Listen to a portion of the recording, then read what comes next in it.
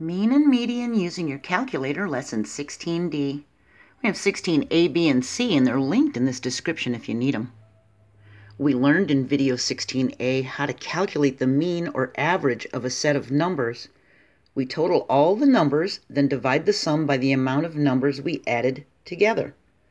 To find a median, or middle number, we arrange the list of numbers in order from highest to lowest, or lowest to highest, it doesn't matter which one as long as they're in size order. And we pick the middle number. Now this is easier when there's an odd amount of numbers. There will be a middle number. When there's an even amount of numbers, two numbers will be in the middle.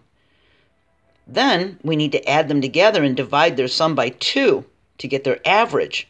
So we have to take those two middle numbers and find their average. And that will be the median for that entire list of numbers. I'll show you. Here we have an odd amount of numbers. We have five numbers. To find the mean using a calculator, we enter 22 plus 14 plus 38 plus 50 plus 17 equals division sign 5, because there's five numbers, and then equals. We'll get a 28.2. To find the median, we don't need a calculator. There's an odd amount of numbers, but we do need to put them into size order. See how the 17's back here? They're not really in size order. So we put them in size order either least to greatest or greatest to least. It doesn't matter. And there's an odd amount of numbers, so we just choose the middle number, a 22. See? It doesn't matter if you're least to greatest or greatest to least. The middle number is still going to be a 22. See that? Now I added a 29 to the group. So now there's an even amount of numbers. There's six of them. To find the median, we put them in size order, and we see the two middle numbers, the 22 and 29. We add 22 plus sign 29. We hit equal. Then we hit division sign, and then 2, and then we would hit equal. There'd be another equal back here. Okay? The median will come out as 25.5. So that's different. See? Because there was no middle number, there were two of them. So we just found the average of those two numbers by adding and adding them and then dividing by that 2 because that's the two numbers we added. Okay? So here we've got a science test. There's four different science tests and four different scores. We can find the mean, the average score by adding them all up 88 plus 96 plus 95 plus 98.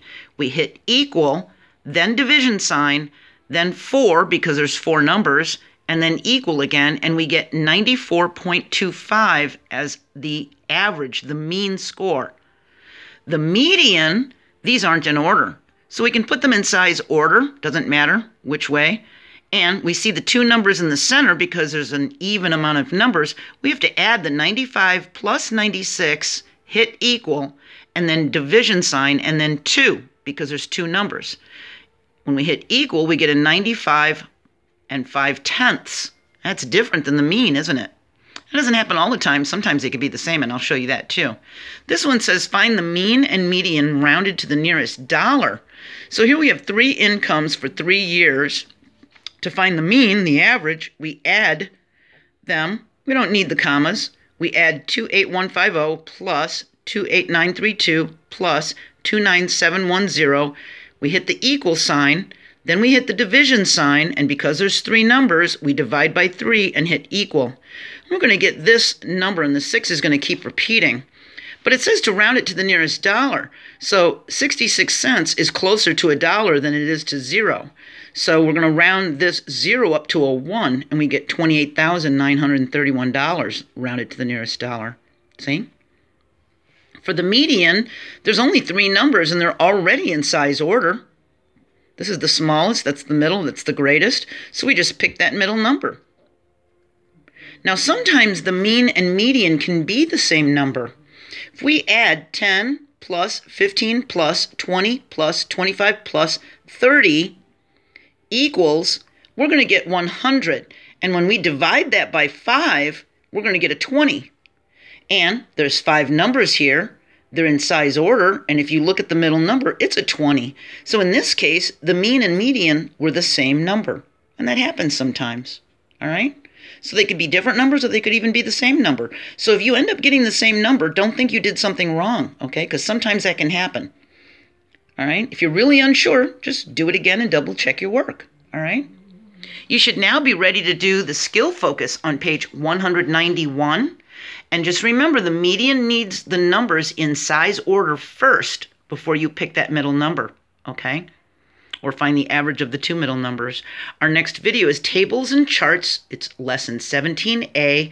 It's going to be a link to 7.3 from sixth grade where it talked about mean, median, and mode and all that. And I'm going to have those three previous videos for this lesson linked in this description. All right? So we're going to move on and start talking about tables and charts. There's going to be a lot of them on the GED math test. You want to make sure you know how to read them correctly, okay? So I'll see you there. I hope you're doing okay. And until next time, bye.